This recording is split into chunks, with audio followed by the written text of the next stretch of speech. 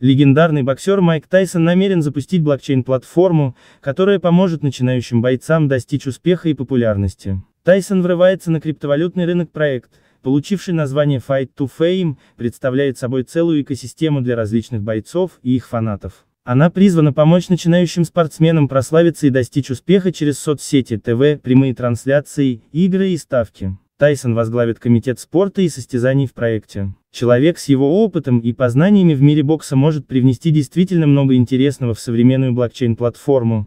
Он пережил множество различных потрясений и стал самым молодым чемпионом мира, так что любой боец может у него получиться. Сам Тайсон сказал о проекте следующее, как опытный боец я хочу обучать будущее поколение, особенно будущих звезд, а также быть уверенным, что для них найдется путь к успеху и справедливым гонорарам. Создание этой глобальной платформы – моя страсть. Пока что Д. Полный текст читайте на сайте cryptofans.ru, ссылка на новость доступна в тексте под видео.